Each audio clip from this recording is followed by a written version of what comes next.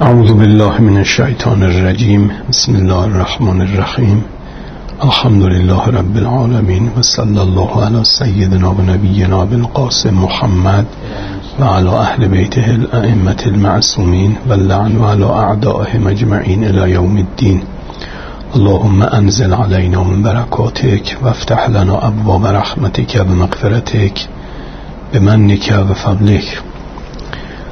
حدیث شریف سیزدهم.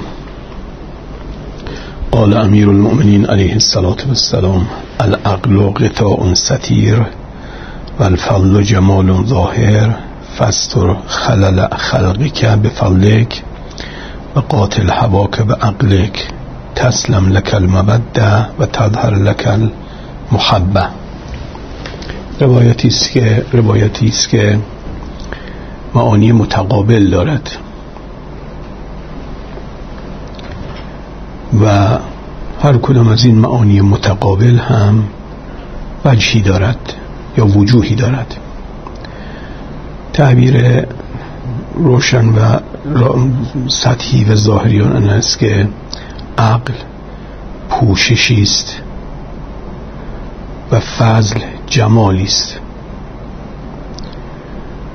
اینکه قطاع هست پوشش هست می‌تواند به دو معنا باشد. هم پوششی باشد بر نقائص هم پوششی باشد بر کمالات. دو امر متقابل چنان که سطیر صفت مشبه است هم به معنای فائل است هم به معنای مفعول. بنابراین اگر معنای مفعول باشد یعنی عقل هجابی است ناشناخته. هجابی است غیر ظاهر.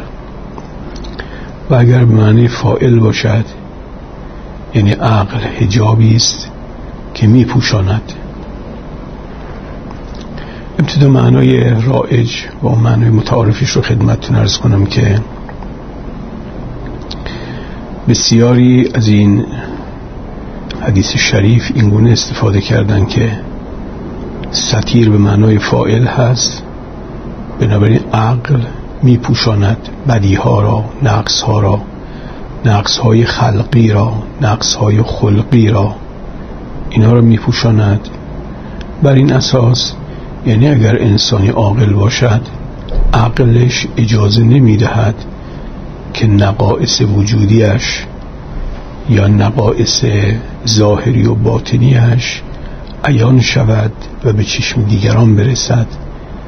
و دیگران بر نقایص او آگاه و مطلع شوند.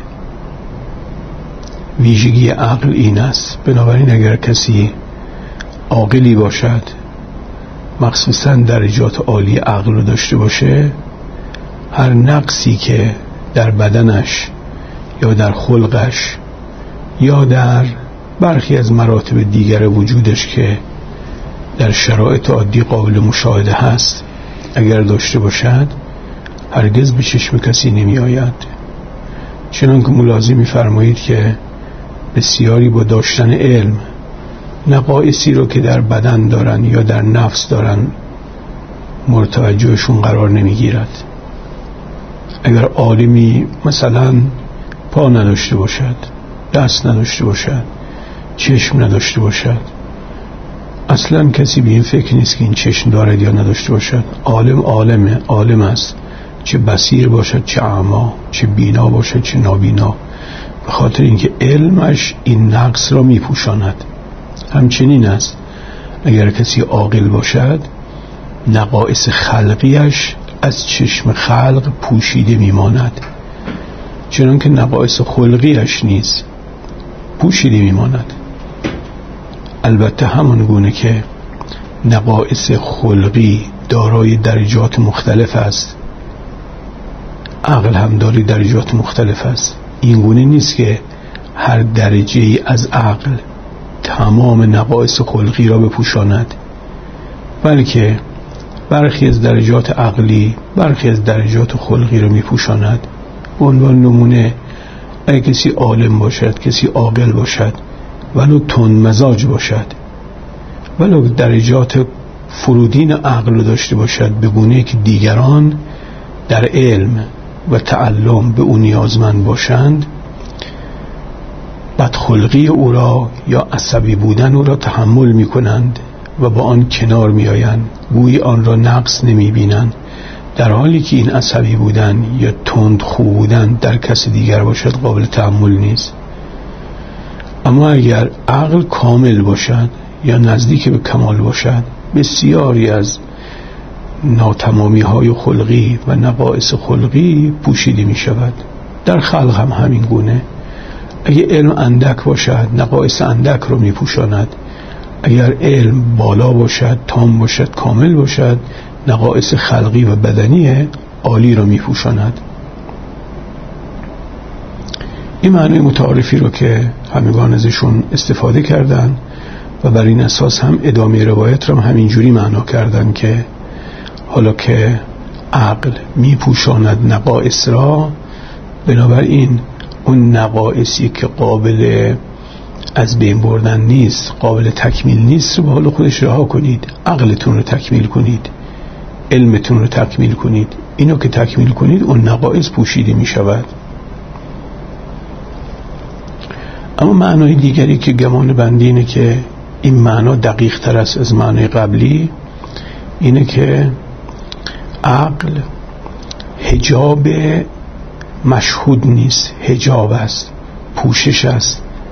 ولی پوششی است که چیزهایی را میپوشاند که کاش نمیپوشاند. عقل هجاب است. یعنی اگر کسی بخواهد به درجات عالی کمال دست پیدا کند باید از هجاب عقلی هم بگذرد. در اون مورد قبلی بود که می‌گفتیم عقل رو تکمیلش کنید تا نقایصمون رو بپوشاند. حالا معلوم شد که عقل ستیر و ساتر است برای کمالاتمون. در نتیجه اگر می‌خوایم که کمالاتمون رو عیان آشکار کنیم یا می‌خوایم به کمالات عالی برسیم باید از عقل بگذریم. یعنی عقل رو باید برداریم و از مرحله عقل باید عبور کنیم. این بسته به اینه که کمالات انسان امور فراعقلی هم باشد. به این معنا که اگر انسان گفت چنان که حالا اهل معرفت میگن اگر گفته شود که انسان یک مرتبه طبیعت دارد مرتبه نفس دارد مرتبه قلب و مرتبه روح و همینطور مراتب دیگر انسان برای اینکه مرتبه نفس خیش را تکمیل کند باید از مقام طبیعت عبور کند. برای اینکه مرتبه قلب را تکمیل کند باید از مرتبه نفس عبور کند و همینطور هر مرتبه پس از اون عقل مربوط به دو مرتبه است. یکی مربوط به مرتبه نفس است و یکی مربوط به مرتبه عقل. مرتبه تام و تمام عقل مربوط به قلب است مرتبه عادی و متعارف و متوسطش مربوط به نفس. حالا اگر کسی می‌خواد به مرتبه روح برسد شکی نیست که باید هم از مرتبه نفس بگذرد و هم عقلی که مربوط به مرتبه نفس است. هم از مرتبه قلب عبور کند و هم عقلی که مربوط به مرتبه قلب است. و اگر کسی بخواهد از مرتبه نفس و مرتبه قلب عبور کند یکی از موانع بزرگش برای عبور عقلش هست.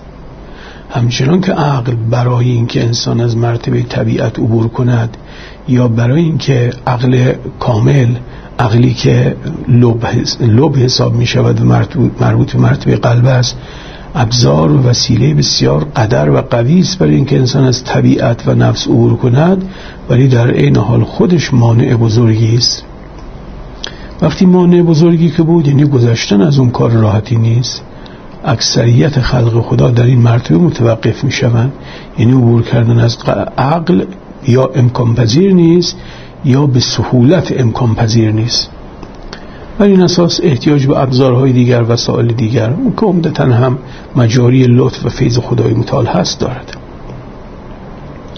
به تعبیر دیگر اگر انسان می‌خواد از عقل بگذرد باید عقل را از بین ببرد از میان بردارد از میان برداشتن عقل به مرتبه به مراتب فروتر از وجودمون که نفس و طبیعت است و حالا عمدتا همین.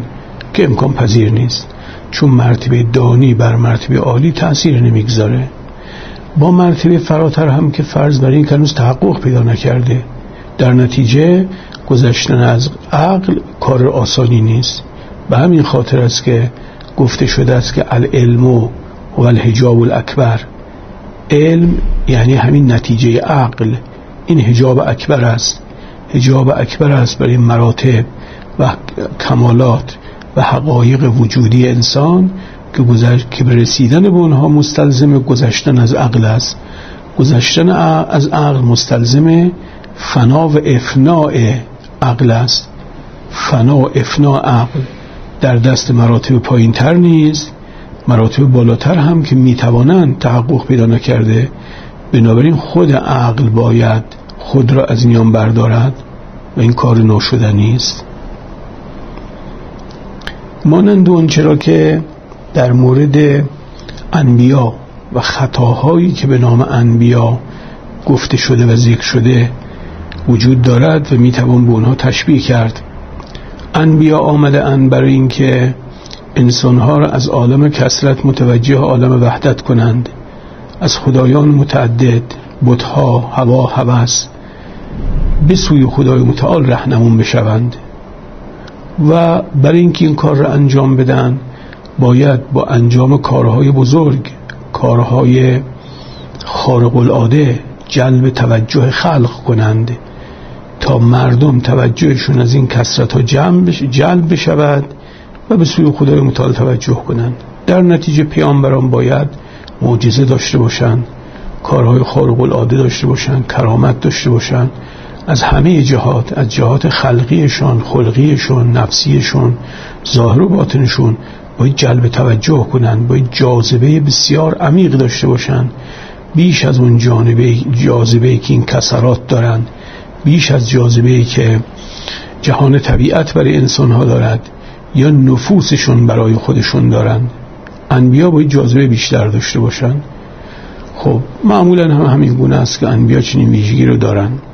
حالا اونهایی که در شرایطی قرار می‌گیرند که مخاطبهاشون لطافت ها و ظرافت وجودی رو ادراک نمی کنند جذب انبیا نمی شوند همچنان در طبیعت باقی میمونند.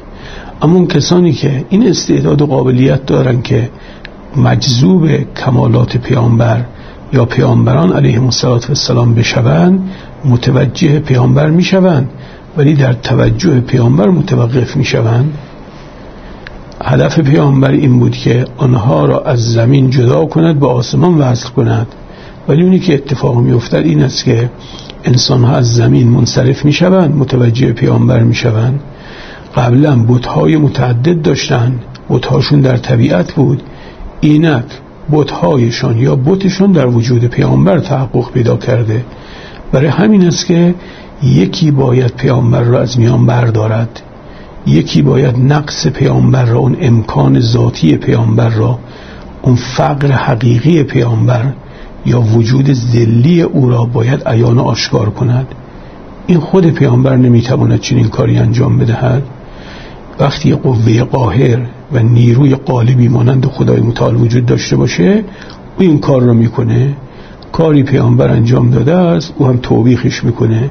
مردم که از زمین جدا شده بودن متوجه پیامبر بودن می‌بینن که پیامبر هم نقایصی دارد. پیامبر هم وجودش فقر است و فقیر هست و همین خاطر که از پیامبر هم جدا می‌شوند و مرتبه عالی تر به تعبیر دیگر به عنوان شاهد دیگر آنچه که در مورد سیر و سلوک ملکوتی حضرت ابراهیم علیه السلام رخ داد در همه خلق چنین چیزی اتفاق می افتد همچنان که بر حسب ظاهر حضرت ابراهیم علیه السلام به ماه توجه کرد شیفته او شد بعد ستاره رو دید از ماه منصرف شد شیفته ستاره شد ستاره رو منصرف شد متوجه خورشید شد یعنی برای اینکه حضرت ابراهیم از ما یا ملکوت ما منصرف بشود یک ستاره نورانی تر لازم است تا او خود را به او جذب کند تا نقص ماه عیان آشکار بشود. برای اینکه از ستاره منصرف بشود و رو برگرداند باید خورشید نورانی تری وجود داشته باشد. تا اینکه نورانیت او سبب بشود که نقصان ستاره آشکار بشود. و همینطور بعد از این سه مرتبه با یکی دیگر باشد که در تمامیت در کمال در وجدان به مرتبه ای باشد که سبب انصراف پیامبر از اون موارد ناقص به مرتبه کاملتر می شود و در نتیجه نقصانهای مراتب فروتر ایان آشکار می شود خب برای اینکه این گونه باشد و یک مرتبه بالاتر از او وجود داشته باشد که او رو جذبش کند. همچنان که خورشید می آمد نقایص ستارگان را آشکار می کرد و یک امر دیگری باشد که نقایص خورشید را آشکار کنند یک موجود ثابت تا فنا یا تغییر پذیری و آفل بودن و خاموش شدنی بودن خورشید آشکار بشود و همینطور آرام آرام به جایی برسد. بنابراین همیشه این گونه است که مرتبه عالیتر و سبب خروج و اخراج انسان از مرتبه فروتر باشد.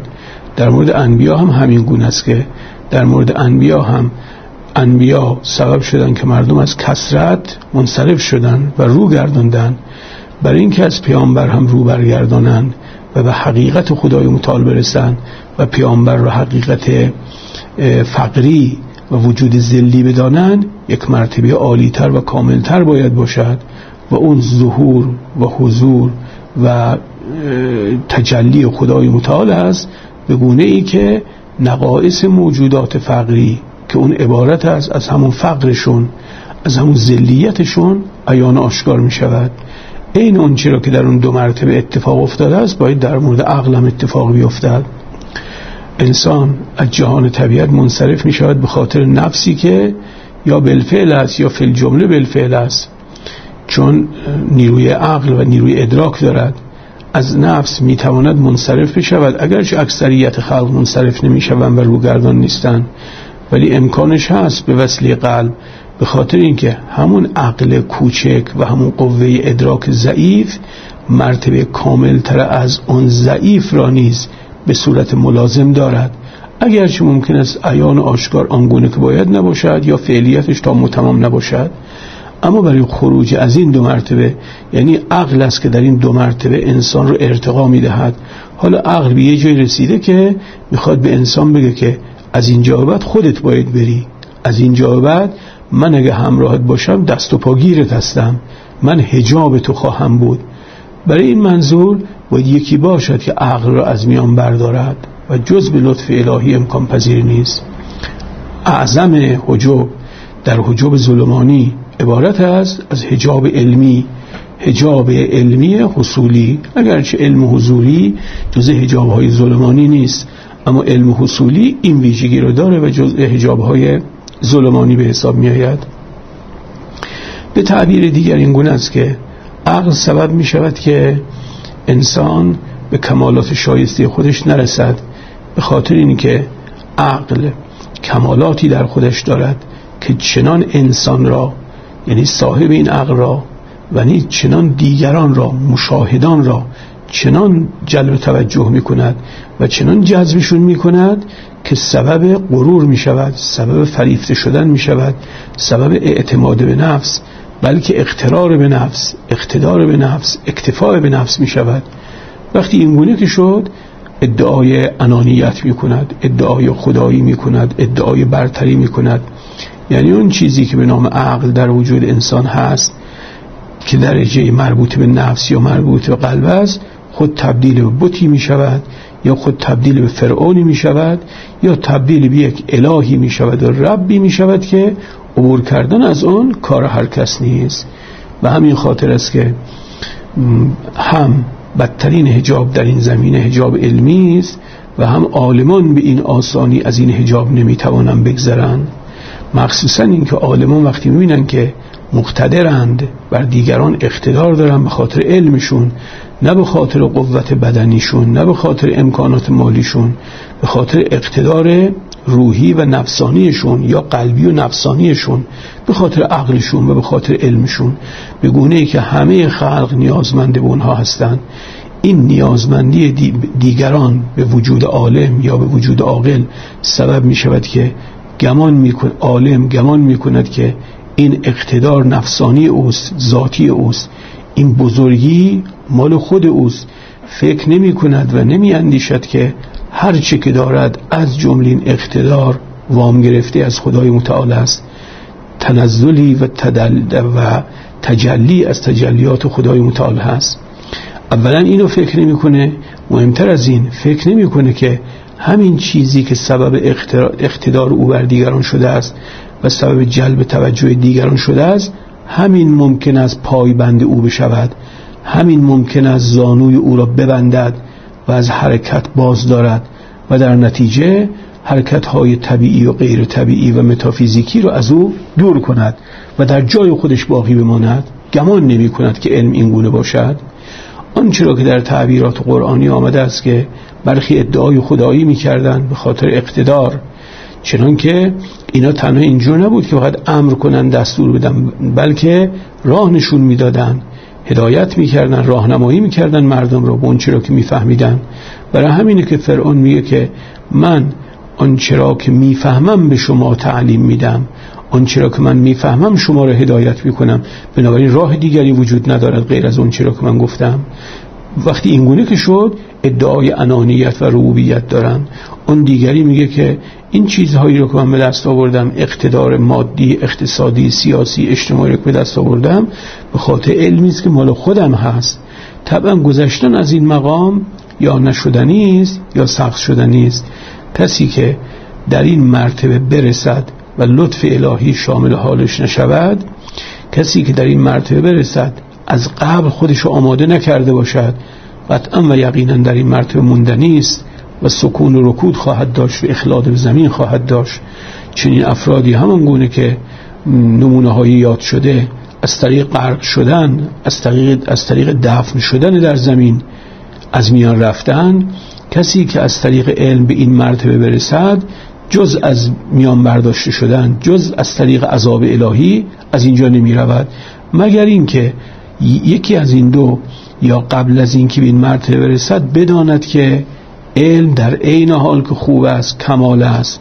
ولی بزرگترین ضربه را به انسان وارد می کند بزرگترین ضربهش امینه که انانیت انسان شیطنت انسان و بالاخره خود اقتداری انسان را تثبیت می کند گسترش می دهد تشدید می کند وقتی این گونه شد تبدیل می شود به یک فرعون تبدیل می شود به قارون تبدیل می شود به شیطان. اگر کسی از پیش توجه داشته باشد بنابراین پیوسته به خودش تعلیم داده به نفسش تذکر داده تذکرات پیوسته که اینجا که می‌رسی پرخطر است. اینجا که می‌رسی به لطف خدای متعال می‌رسی. علمی رو که به دست آوردی مال تو نیست. قدرتی رو که به دست آوردی مال تو نیست. این علم و این قدرت و این اقتداری که به دست آوردی به حول الله و قوته به دست آمده است. چنان که هر کسی هرچی به دست آورده است به حول الله و قوته به دست آورده است. نه اینکه تو زرنگ بودی عالم شدی دیگران زرنگ نبودن تو مثلا فعال بودی تو علاقمند بودی تو شبها رو بیدار نشستی تو روزها رو دویدی که عالم شدی. نه دیگران هم دویدن دیگران هم فعالیت کردن و زحمت کشیدن. اون کسی که این لطف رو به تو کرد می توانست این لطف رو از تو سلب کند به دیگری عطا کند. این توجه به فقر وجودی و توجه به توحید فائلی برای متوقف نشدن در مرتبه علم و اقتدار نفسانی بسیار سودمند است بلکه شاید بتوان گفت راه در اختیار همین است راه دوم وجود دارد ولی اون راه در اختیار نیست. اونی که در دست انسان هست در دست عالم یا متعلم هست اینه که از قبل بداند که این چاقوی دودم است شمشیر دودم است از هر طرفش ممکن است ببرد. کوتاهی کنیم می‌برد. تندروی کنیم می‌برد اگر به علم خیش اعتماد نکنیم می‌برد با آن اعتماد کنیم می‌برد اینو باید قبلا توجه داشته باشیم. و اونم عبارت است از فقر نفس فقر وجودی و توحید فائلی راه دیگرش لطف و عنایت خدای متعال است که خدای متعال وقتی کسی را به مرتبه علم به عنایت خیش به عنایت ازلی خیش به مرتبه علم که رسان به همون عنایت و اتم و اشد از آن از مرتبه علم هم عبور بدهد به مراتب دیگر برساند و به کمالات دیگر. به هر حال باید یکی دیگر این کار را انجام بدهد. افناع نفس ذات خیش را به دست خیش امکان پذیر نیست. این مثل خودکشی های مادی نیست که آدم با دستش مثلا سر خود را ببرد با دستش سم میرا بخورد. این افنا مربوط به یک موجود بسیطی است که دست و پا ندارد. یک حقیقت واحد است. اون حقیقت واحد می‌خواد خودش رو از میان بردارد. از میان برداشتنش برابرش با اثبات. افناش برابر است با اثباتش. در نتیجه نمی شود مگر اینکه یا از قبل این آمادگی رو داشته باشد که متوقف نشود و یا اینکه لطف خدای متعال و امدادهای غیبی خدای متعال نصیب و روزیش باشد. در غیر این صورت می شود عالم می شود عالمی که احساس اقتدار می کند هیچ یک از خلق را آدم حساب نمی کند تا چه رسد به اینکه کسی را همانند خود بداند؟ همه خلق را موجودات درجه دو درجه سه و درجه چند حساب می کند به همین خاطر است که حشر و نشر با خلق برای او سخت است. هم نشینی با خلق برای او سخت است. زندگی کردن با آنها غذا خوردن با آنها مسافرت رفتن با آنها گپ و گفتگوی با آنها برای او سخت است. این سخت بودنش یه وقت به این خاطر که طبقات مختلف اجتماعی هستند هر طبقه همسنه خود را میطلبد. تا این اندازش قابل قبوله.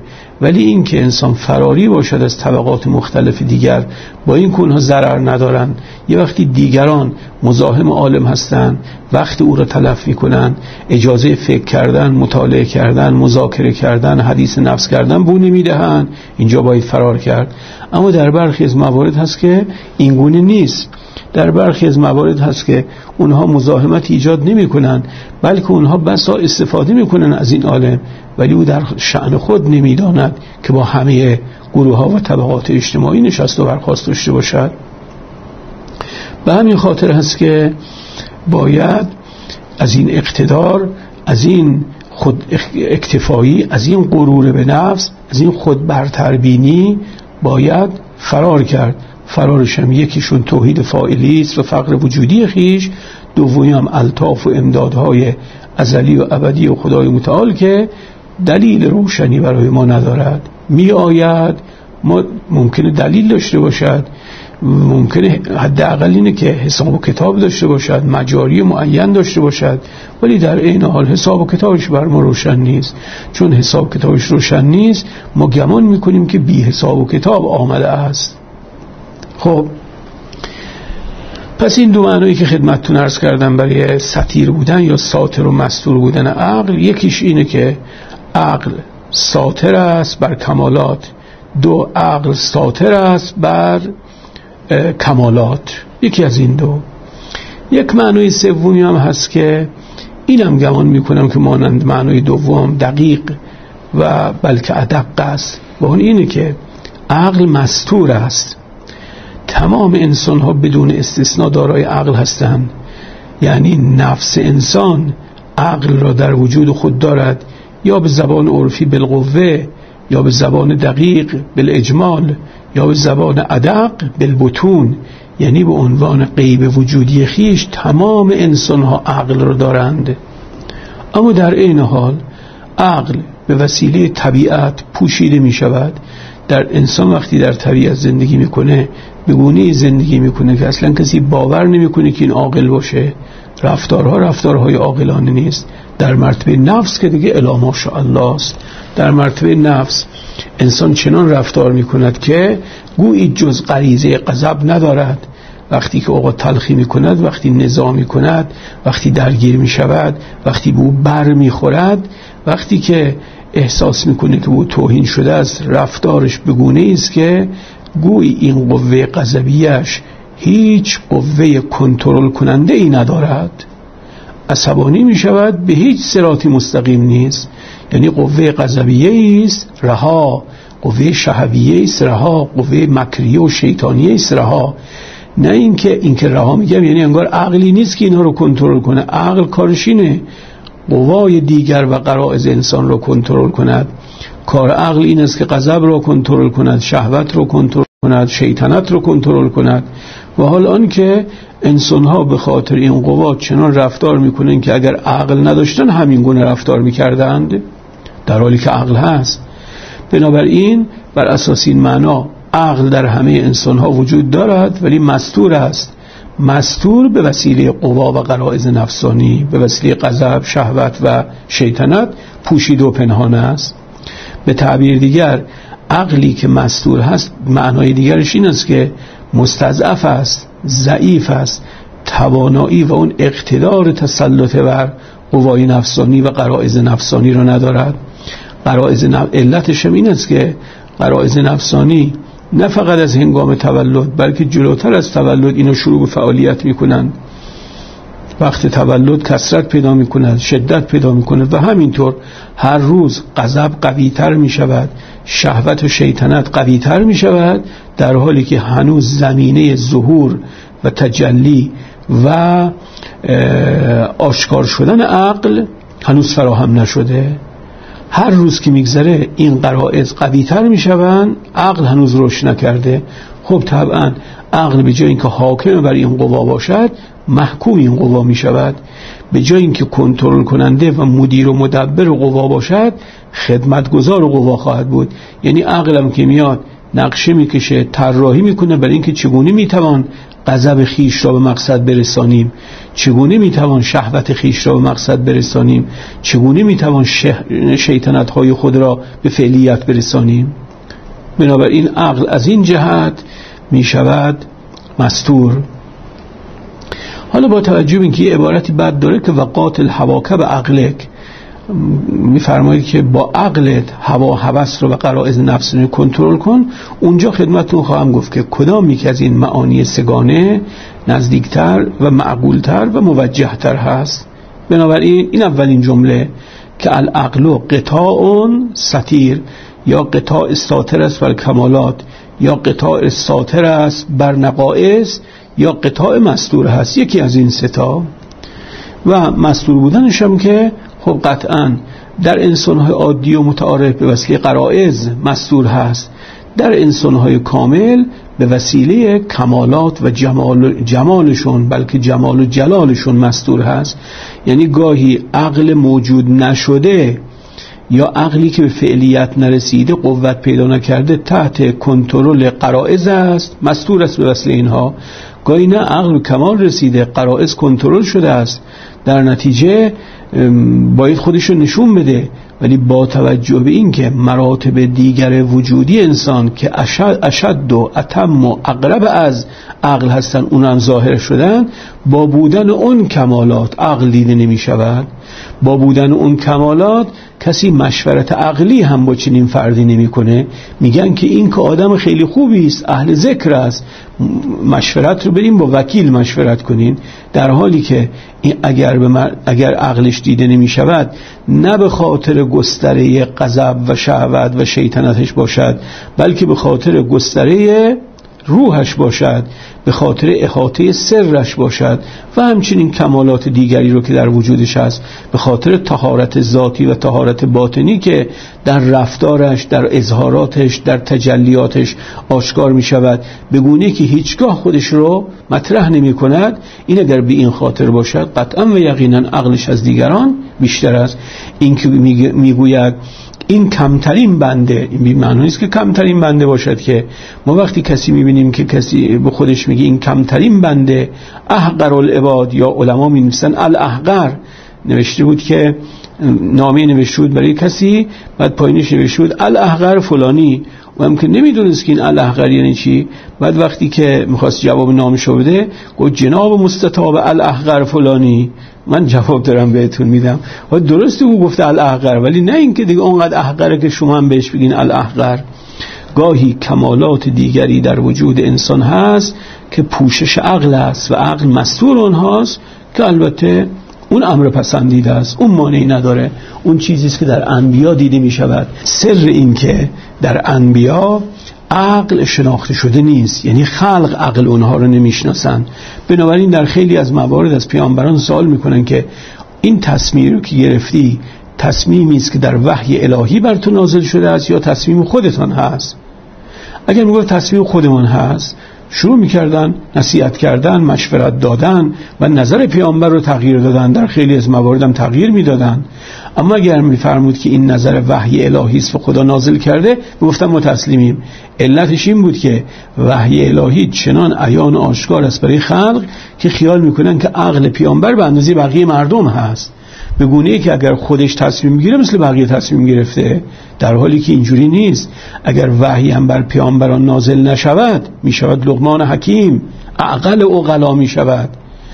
وقتی کسی شد حکیم یعنی عقل تفصیلی آن چنان عیان آشکار هست که اگر همه عقول خلق را یک جا جمع کنند با همدیگر یک جا به هم اضافه کنند به اندازه اشری از اعشار عقل انبیا نخواهد شد. به اندازه یک در هزار عقل انبیا نخواهد شد. به اندازه یک در هزار عقل کسی ماننده لغمان حکیم نخواهد شد. مانند عقل سلمان فارسی نخواهد شد. ولی اینکه اینها وحی ندارن. اگرچه وحی ندارن عقل دارن و عقلشون اتم از همه عقول هست. عقل انبیا همین گونه است. ولی متاسفانه به خاطر حالا دلایلی که یا موجه یا غیر موجه. بالاخره رسالت چون همراه با وحی است. وحی هم برای مردم عیان آشکار. دیدن که وحی نازل میشه دیدن که مطلبی رو میگه که خلاف عادت است یا کسی مانند او رو نداره فکر نمی کنن که اگر پیامبر با عقلش هم صحبت کنه همین گونه است. فکر نمی کنن اگر پیامبر با عقلش هم کاری انجام بدهد می‌تواند تحدی کند. یعنی اگر پیامبر یه سخنی رو یه خبری رو یه پیشگویی رو یه آینده نگری رو با عقلش بیان کند دقیقا مانند آنچه که در وحی گفته شده است قابل تحدی است و دیگران نمی‌توانند با آن مقابله کنند. یعنی آنچه را که پیامبر ارائه می کند چه از طریق وحی باشد چه از طریق عقل باشد خارق العاده است. یعنی کسی نمی‌تواند مشابه آن را اراده کن ارائه کند. ولی شناخته شده نیست. بنابراین یا ساتر است به اون دو یا مستور است به این دو تا حالا ببینیم کدام یکیش ترجیح دارد و برتر است. جمله بعدی اینه که والفضل جمال ظاهر. فضل جمال ظاهر است. گویی یک نکته دیگر در اون عبارت قبلی که عقل قطاع سطیر هست یه چیزی به اونجا باید یه معنای دیگه باید اضافه بشه تا تناسب این داشته باشه. اولا در به عقل و فضل صحبت می کند بنابراین وقتی که فضل جمال ظاهر است یا عقل باید جمال باطن باشد یا جمال نباشد یا امر دیگری باشد در این که عقل غیر جمال نیست. یعنی از کمالات انسان به حساب می آید و از نقائص انسان نیست در این تردید نیست.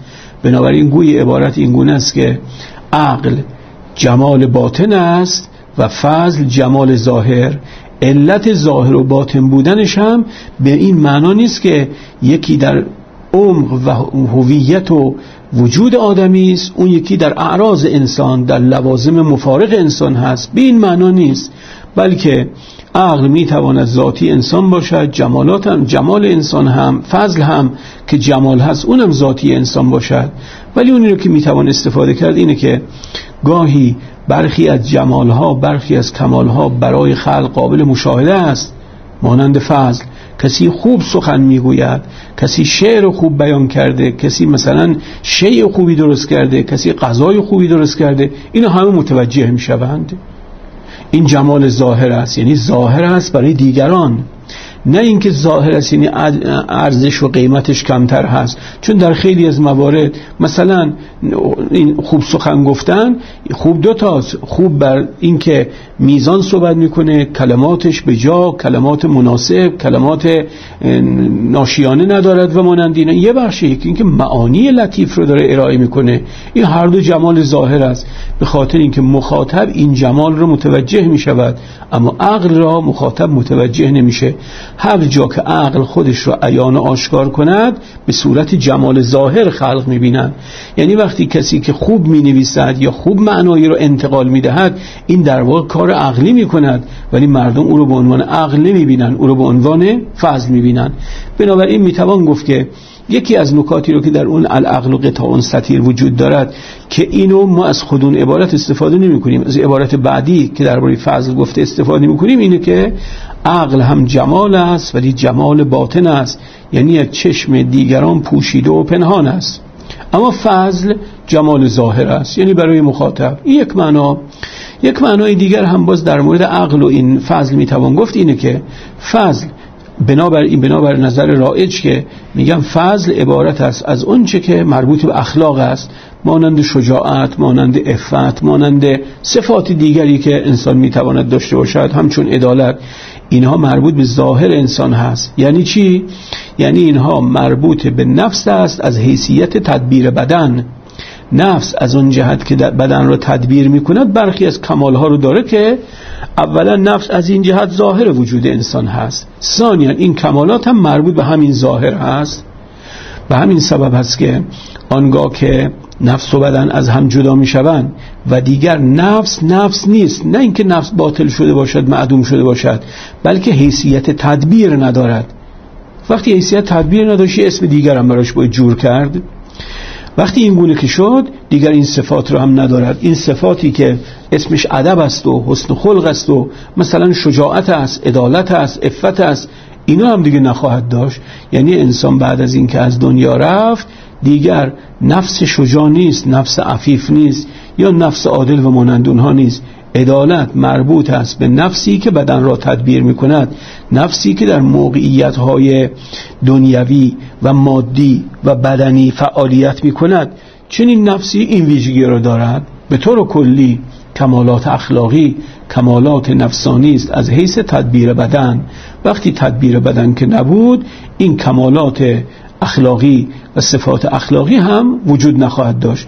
بنابراین اون معنی اولی که می‌گفتیم جمال ظاهره می‌گفتیم جمال است که عموم آن را مشاهده می‌کنن حالا که میگیم نه واقعا مربوط به مرتبه سطحی و ظاهری انسان است. مربوط به مرتبه موقتی وجود انسان است. مرتبه موقتی وجود انسان یعنی حضورش در جهان طبیعت. وقتی انسان در جهان طبیعت هست اینجا مرتبه ظاهر وجودش است. باطنش بعد از اینکه از این دنیا رفته است.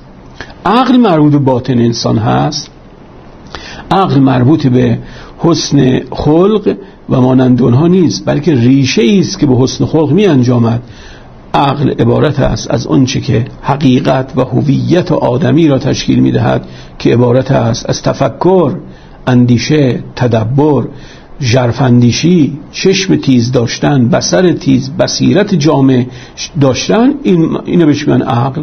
بنابراین کسی که عقل دارد بوی این گونه است که یعنی عقاید دقیق دارد اندیشه های عمیق دارد. این هم که مربوط به باطن انسانه. مقصود از باطن چیز یعنی اون چیزی که همیشه با انسان هست و هیچگاه انسان آن را از دست نمی‌دهد. اون هویت و حقیقتی که در دنیا همراه انسان هست در آخرت هم همراه انسان هست. نفس انسان به تدبیر بدن بپردازد اون حقیقت هست. نپردازد بازم هست. غیر از حسن خلق و آداب دنیوی و یا اجتماعی و غیر آن است که همچی که تدبیر تمام شد همه اونها باطل می شود از این جهت عقل جمال باطن است و فضل جمال ظاهر. خب حالا با توجه به این نکاتی رو که خدمتتون ارز کردم که عقل چنین جایگاهی دارد و فضل همچنین جایگاهی. میفرماید که فستر خلل خلق به فضلک حالا خلل باشد یا خلل باشد این یک. خلقک باشد یا خلقک باشد؟ به نظر می‌رسه که هر دوش درسته ولی خلق ترجیح دارد تا خلق. به خاطر اینکه خلق را به وسیله عقل می‌توان پوشاند نه به وسیله جمال ظاهر و مثلا آداب و رفتارها. اگر چینم فل جمله بی تاثیر نیست. کسی که معدی آداب هست رفتارهای اجتماعی دقیق انجام میده. اهل احترام هست. به کسی توهین نمی کند رفتارش رفتار شرافتمندان است. رفتار فاخر دارد.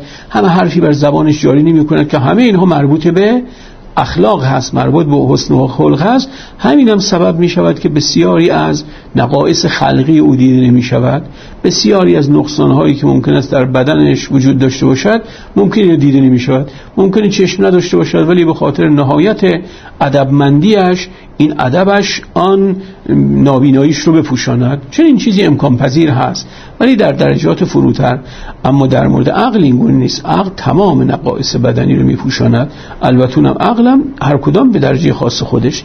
در هر صورت خلال هایی که در خلقت وجود دارد یا در خلقت وجود دارد رو به فضلت یعنی به اون جمال ظاهر بپوشان با راستگویی با حسن رفتار با حسن معاشرت با کمک کردن به دیگران با بذل و بخشش داشتن و مانند اونها نقائص خلقیت را بپوشان یا نقائص خلقیت را بپوشان. اونی که در کتاب اومده خلق هست. ولی گمان بنده اینه که با خلق هم تناسب دارد و شاید خلق بهتر باشد و مناسب تر باشد. فستر خلل خلقه که یا خلقه که به فضلک با فضلت با بزل و بخششت با گذشتت با اف و بخشندگیت بسیاری از بدی ها رو می‌توان پوشند و اما در مورد عقل چی؟ و قاتل هواکه به عقلک. اما هوا هوس را اما قرائز را شهوت و غضب و شیطنت را. میگه اینو اولا باید با عقلت آن ریشه کن کنی. عقلتو بفرست به جنگ هوا هوس. این یک. دوم اینکه این از باب قتل نیست از باب مقاتله است.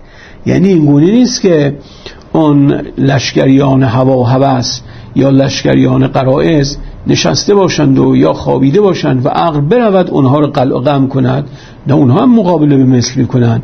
بنابراین جنگ و کارزار دو سوی خواهد بود. یعنی این که داری به جنگ هوا هوس می‌روی توجه داشته باش که محتمل است که هوا هوس مقتول شوند و عقل غالب شود و پیروز. احتمال اینکه عقل هم کشته شود و در نتیجه هوا هوس ایان آشکار شوند و حاکم شود این هم وجود داره. ولی چاره ای نیست. اگر عقل به جنگ هوا هوس نرود هوا هوس به جنگ او می آیند اگر هوا هوس به جنگ او آمدن احتمال قافلگیری وجود دارد. بنابراین بهترین جنگ ها جنگی و حمله آغاز بشود نه با دفاع. با دفاع یعنی در جای نشستی. اولا آنقدر منتظر دشمن باید باشی که اعصابت به هم میریزه. قوه و نیرو و توان و تصمیم و تدبیر و حزمت همه اینها مختل می شود این اولا. ثانیا ممکنه زمانی دشمن بهت حمله کنه که تو آمادگی نداشته باشی. یک لحظه که چرتت برده میریزن رو سرت. اما اگر حمله کنی همین اتفاقات برای دشمن میفته. بنابراین حالا مباحث نظامی نظامی رو باید نظامیان بگوین ولی اگر جایی قراره که مورد حمله قرار بگیریم باید پیش دستی کرد. به جای اینکه بیستیم تا رو سرمون خراب بشن باید اقدام کنیم رو سرشون خراب بشیم. اگر هدف پیروزی است. اما اگر نه دیگه حالا مساله دیگری است که تا گاهی مساله فرعی چنین چیزه اختزا می‌کنه که دشمن بیاید یه تعدادی رو هم بکشد یه جایی رو هم بگیرد بلکه ملت به غیرتشون بر بخورد بلکه غضبشون تهییج بشود تحریک بشود و از جای خودشون بجنبن. و الا اگر بخیم بجنبین می‌خوایم فلان جا دشمن رو غافل گیر کنیم خواهم گفت که دشمن سر و خونو زندگیش از بندگان خدا آدمای بین خوبی چه قشنگ تو تلویزیونشون تلویزیوناشون صحبت می‌کنن. اینا رو به اونا چیکار داریم؟ میگه شما مریضین که می‌خواین که سر به سر مردم بگذارید. به هر حال رابطه میان عقل و هوا و هوس عقل و قرائز رابطه مقاتله است. یعنی جنگ و کارزار دو سویه است. خب هر کسی با ابزار بیشتر قوای بیشتری اقدام کند قطعا پیروز خواهد شد. و هر کسی که مورد حمله قرار بگیرد مورد حجوم و یورش قرار بگیرد یا امکانات و ابزارش رو فراهم نکرده باشد مغلوب خواهد شد. حالا بر این اساس این کدام عقل است که به جنگ قرائز می رود این همین معانی اخیری بود خدمتتون ارز کردم. اینکه عقل قطاع ستیر است یعنی کمالات را میپوشاند. اون که ارتباطی با این چیزا ندارد. عقل اون کمالات باطن را کمالات حقیقی را. عقل نقائص را میپوشاند. این هم ارتباطی با این جنگ ندارد. اصلا کارش ملاطفت است این دو عقل عقل دومی که بدی ها و زشتی ها اینا رو میپوشاند. مانند کاری است که پدری مادری جدی مانند با فرزندشون دارن انجام میدن که پیوسته سعی می‌کنه که بدی هاش رو بپوشونه که عیان آشکار نشود. اما دو عقل اخیر مستور بودنش. و عقلی که در خدمت قرائز رشد می‌کند و اون عقلی که باید به کمال و رشد خودش برسد تا قرائز رو کنترل کند کنترل قرائز به وسیله عقل است. چنان که تضعیف شدن عقل هم به وسیله قرائز است. وقتی این گونه که شد این عقلی که در حوزه قرائز رشد می کند و دیرتر هم رشد می کند این است که باید به مقاتله هوا برود یعنی باید تقویت بشود تا توانایی مقاتله داشته باشد.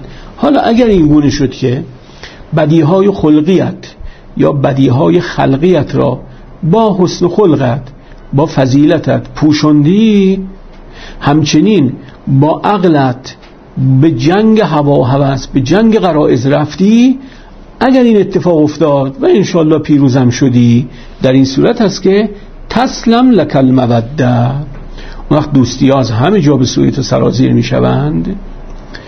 اگرچه قلبه قرائز نیز مستلزم محبت هست اگر مستلزم مودت نباشد محبت را به همراه خود دارد.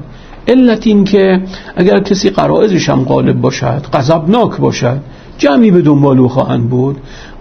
بر... کسی غضبناک نیست. ولی اهل شهوت است یعنی بسیار می‌خورد در خوردن هم خود می‌خورد هم در اختیار دیگران قرار می‌دهد. اینا امور شهوانی است هم خود اهل تفریست و در کوه و کتل می‌رود و هم دیگران را همراه خود می‌برد این اینا هم سبب محبت می شود علت سببیتش اینه که یا جهت سببیتش این است که انسان ها این قرائز نفسانی رو دارند بنابراین با کسی دوست می‌شوند به دنبال کسی می‌روند همنشینی و همراهی با کسی رو میپذیرند که او هم از, هم از سنخ خودشون باشد. در نتیجه شهوترانان به دنبال امثال خود هستند اهل غضب به دنبال امثال خود هستند اهل شیطنت اونا هم به دنبال امثال به دنبال یکی بزرگتر از خود تا در کنار او غضبشون روش کند شیطنتشون روش کند و همینطور بقیه. به همین خاطر است که اون که گفتن که کبوتر با کبوتر حقیقتا این گونه است که انسانهایی که اهل غضبن به دنبال کسانی میگردن که سنخیت به اونها داشته باشن. همه انسان ها بلکه همه موجودات به دنبال همسنخ خودشون می‌روند. وقتی دنبال همسنخ خودشون گرفته این نسبت به محبت هم دارن. اما با توجه این که مودت عبارت است از محبت ثابت دائم. در جایی رو که عامل محبت قرائز است این محبت ثابت دائم به دنبال ندارد. محبت های زودگذر محبت های مقطعی و مانندون را همراه خودش دارد. یعنی تا انقدی سفره پهن است علاقمند بسیار است. تا اونجا که بساط ایشونوششون فراهم است دنبال صاحب این ایشونوش هم هستند و مخلص و چاکرو هم هستند. اما همچی که وضع به هم خوردگی نتونست که امکانات خوشگذرانی دوستان را فراهم کند. اونم مورا مورا میرن دنبال کارشون. نشون دهنده که محبت وجود دارد ولی مودت امکان پذیر نیست. حالا اگر کسی این کار رو انجام داد بدیهای بدنی یا نقصانهای بدنی نقصانهای خلقی رو از بین برد با عقلش هم به جنگ هوا هوس و قرائز رفت. میگه محبت دائم نصیب و روزیت خواهد شد. و آخرین جمله و تظهر لکل محبه. این محبت رو به نظر می‌رسه که با توجه میشه که دنبالی همون باشد یعنی حرف جدید دیگه نباشد. یعنی هم مودت است و هم محبت هست. هم محبت ثابت رو داری هم محبت غیر ثابت رو داری.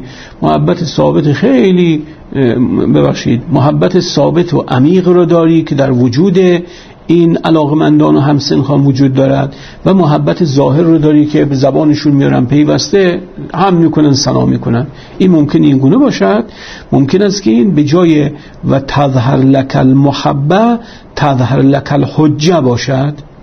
اگر تظهر لکل حجه باشد یه معنای دیگری است غیر از اون چی رو گفتیم یعنی اگر شما بدیهای وجودی یا بدیهای ظاهری و همچنین بدیهای خلقی و خلقی رو به وسیله عقلت پوشوندی با عقلت هم هوا هوس رو کنترل کردی هم محبوب خلق خواهی بود چون محبوب خدا شده ای و همین که در مسیری که حرکت می‌کنی دارای حجتی دارای استدلالی دارای بنیاد فکری هستی و دیگران رو می‌توانی راه بری کنی دیگران رو می‌توانی به دنبال خود ببری و در نتیجه دیگران هم می‌توانند محتجن و معتذرن در پی تو و به دنبال تو باشند.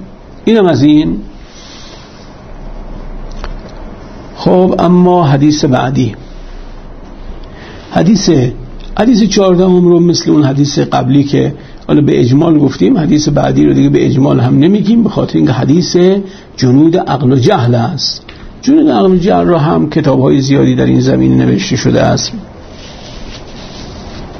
و همین که خیلی مفصل است. مفصلتر از اون چیزی که در این جلسات کوتاه و مختصر ما بگنجد. بنابراین حدیث چهاردهم رو بهش نمی‌پردازیم ولی حدیث پونزدهم می‌پردازیم. حدیث پونزدهم اینه.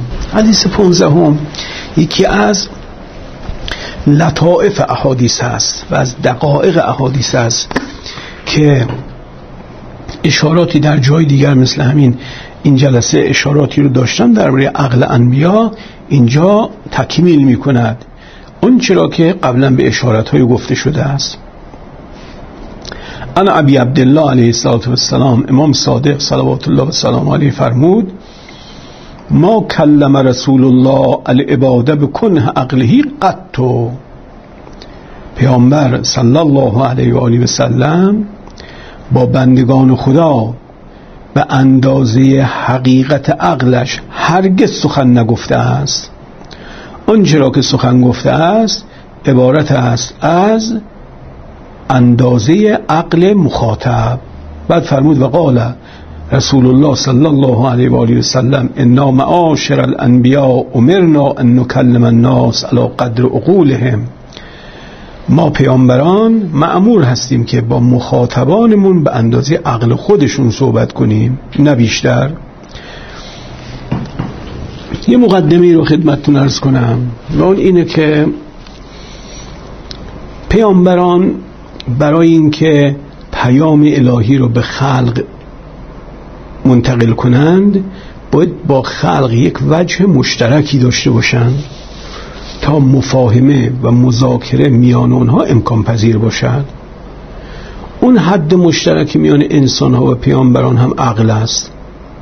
منتها نه عقل پیامبر عقل پیامبر حد مشترک نیست.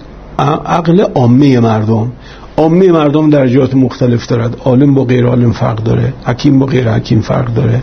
عارف با غیر عارف تفاوت داره. خب این طبقات مردم که عقول مختلفی دارن هر کسی به اندازه عقل خودش با پیامبر مشترک است و وقتی پیامبر میگه قل انما انا بشر مثلکم یعنی در اون چیزی که شما دارید منم شریکم. نه اینکه در اونی که من دارم شما شریکید.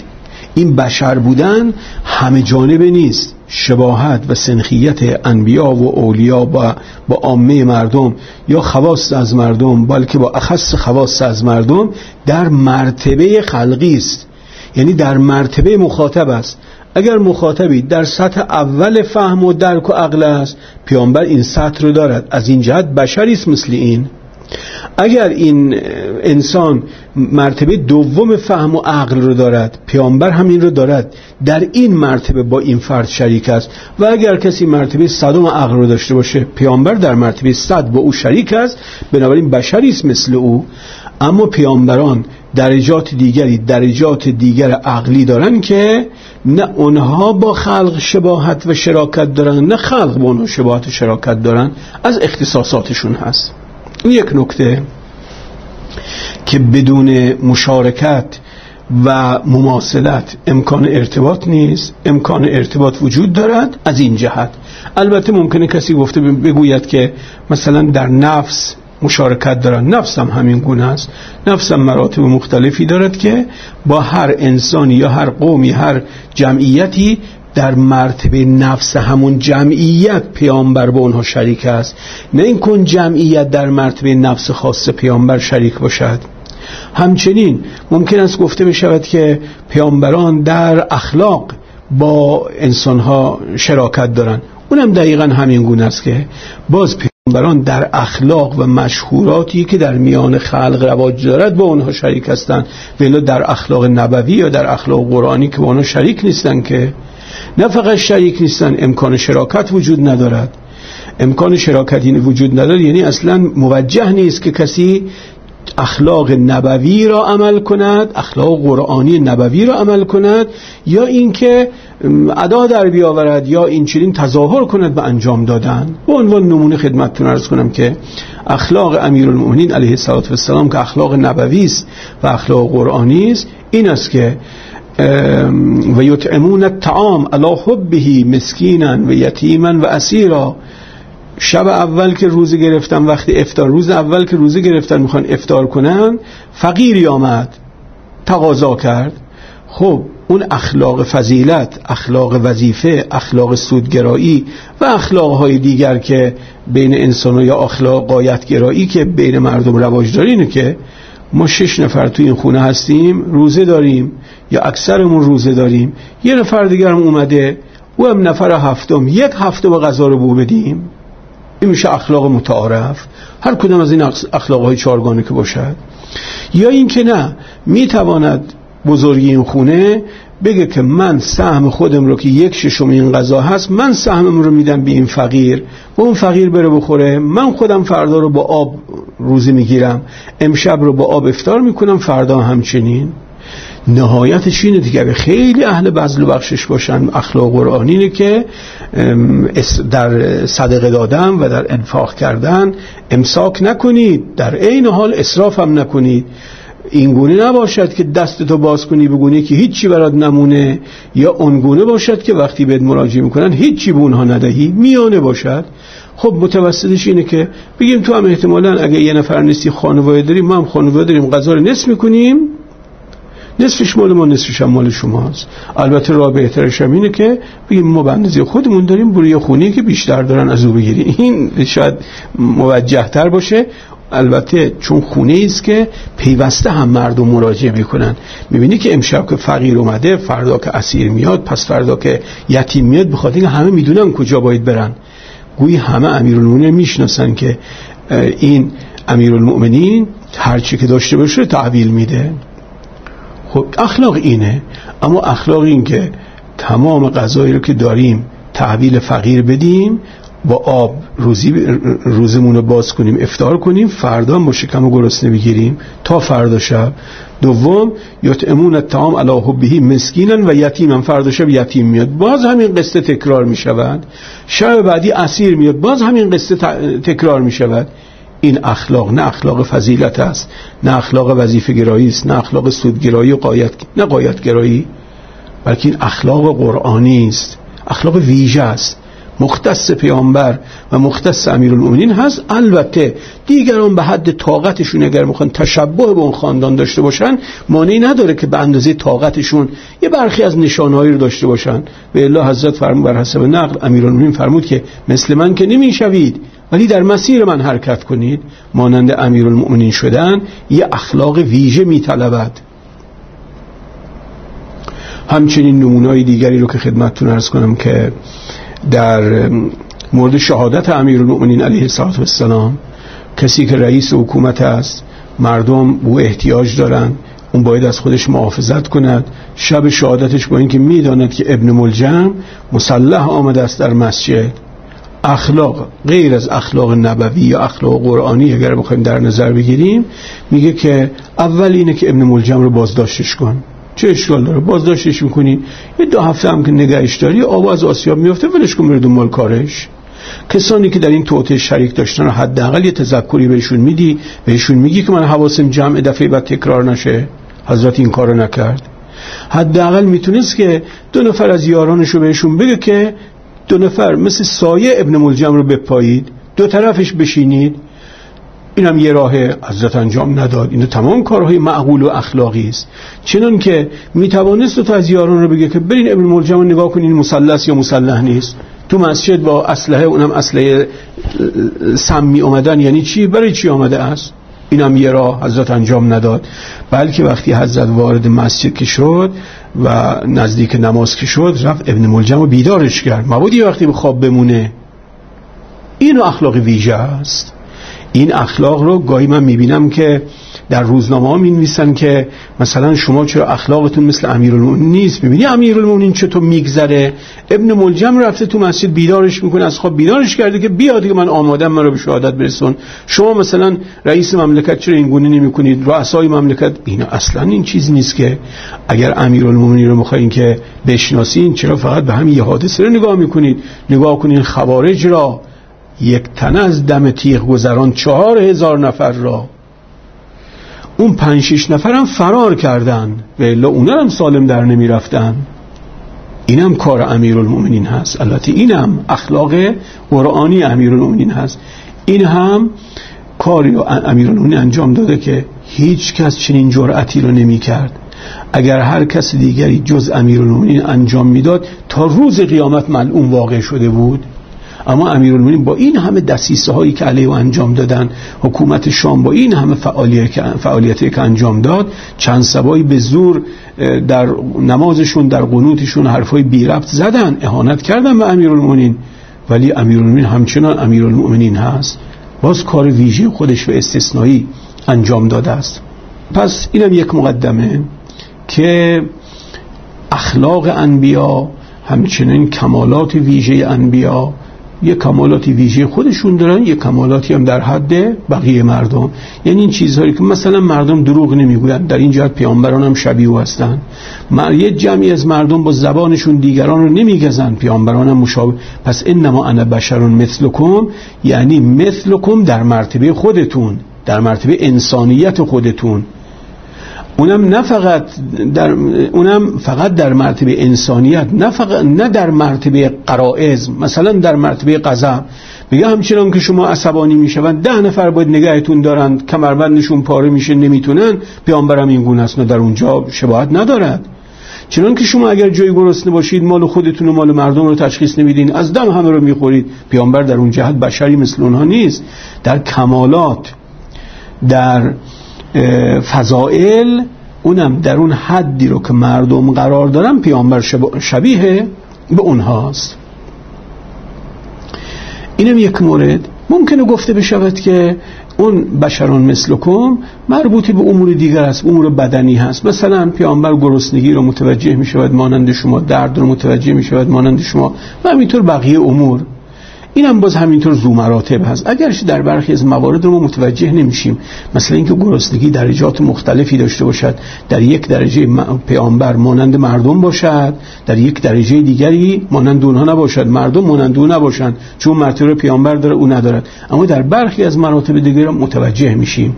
مثلا در عواطف پیامبر عاطفه دارد. و از جهت عاطفه داشتنش بشرون مثل بقیه مردم. ولی در اون مرتبه از عاطفه که عامه مردم دارن. عامه مردم مثلا به فرزندشون به پدرشون مادرشون قومشون خیششون دوستشون علاقه دارن اظهار محبت می‌کنن. میگه پیامبر این مرتبه رو دارد. ولی نه اینکه فقط همین یک مرتبه دارد مراتب دیگری از محبت و اظهار محبت و عواطف دارد که اصلا کسی نمی‌تواند درک کند. چنان که جاهای دیگری خدمتتون ارز کردم بسا مکرر شده باشد. مبنی بر این که با توجه به روحیه و وجود لطیف خاندان پیامبر علیه السلام چیزی که برای ما اصلا درد و غمی ندارد برای اونا درد و غم دارد؟ چیزی که اصلا ما را نمیآزارد اونا را میآزارد؟ چیزی که بسیاری از خلق را اصلا برشون تاثیر ندارد برای اون تاثیر دارد و تاثیر بسیار زیاد هم دارد. بنابراین برخی از خلق هستن که باید پسگردنی بخورن تا ناراحت بشون برخی همین که چپ بهشون نگاه کنن با ناراحت میشون برخی دیگر نه. تخیل بعد هم دربارشون داشته باشین. از اون جهت اونا متاثر میشون و ناراحت میشون برخی دیگر اگه یه شاخه درخت بی جد بکنین اونا ناراحت شدن اگه یه گلی خود به خود پژمرده شده است اونها ناراحت میشون اگه یه کافری با میل و رغبت خودش و به اشتیاق خودش به سوی جهنم می‌رود بازم اونها متاثر میشون و اشک میریزن اشک ریختن ها در این که ما برای امام حسین علیه السلام اشک میریزیم پیامبر صلی الله علیه و آله و سلم هم اشک میریزد. در این مرتبه شبیه به هم دیگر هستیم. اما پیامبر جاهای اشک میریزد که ما جشن می‌گیریم. ما اگر دشمنمون رو از میان برداشته باشد جشن عمومی خواهیم گرفت. در حالی که پیامبر وقتی دشمنش کشته شده براشون اشک میریزه که چه می‌شد اگر شما حرف منو گوش می‌کردین و الان جاتون تو بهش بود؟ به سوی قرب خدای متعال رفته بودید رضایت خدا رو جلب کرده بودید در حالی که ما اگر دشمنمون رو از میان برداریم یا دشمنون رو شکست بدیم قطعا و یقینا شیرین توضیح می‌کنیم ولی پیامبر این کاری انجام نمیده.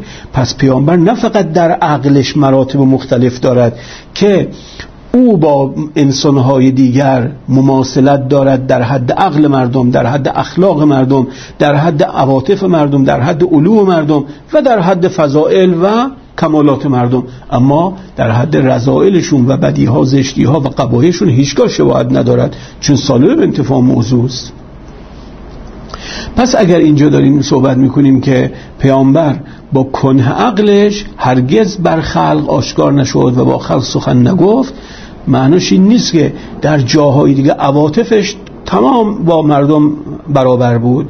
نه همچنون که عقلش متفاوته. بقیه موارد وجودی و حقایق وجودیش هم همین گونه است. این اینم یک مقدمه.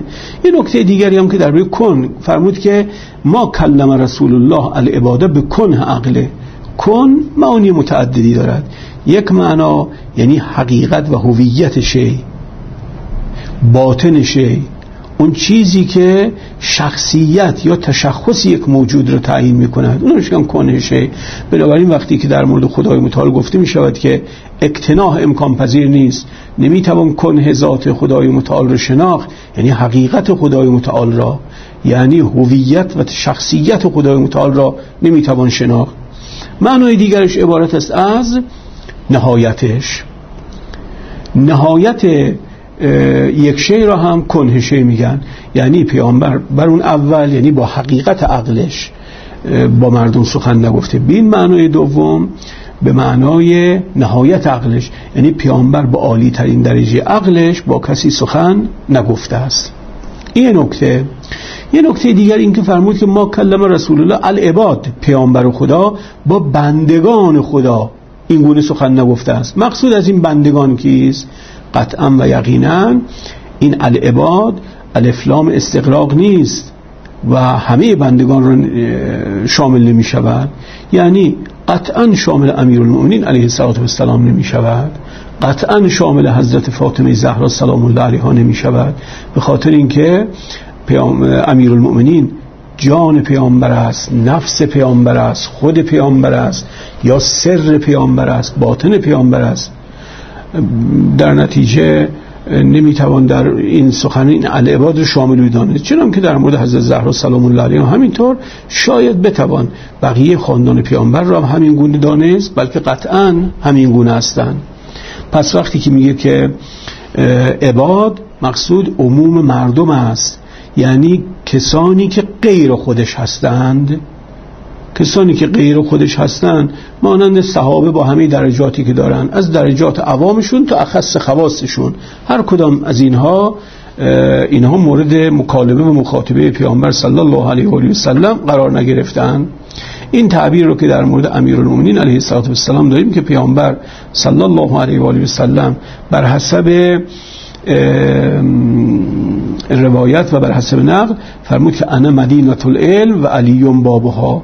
وقتی که پیامبر شهر علم است و باب علم هم امیرالمؤمنین هست طبعا اون چرا که در این شهر هست بر این باب عیان و آشکار است. بنابراین می توانیم بگیم که کلم رسول الله علی ابن ابی طالب به کنه عقله می توانیم بگیم. اما بقیه مردم یعنی کسانی که در درجات پایین تر هستند این هم یک نکته.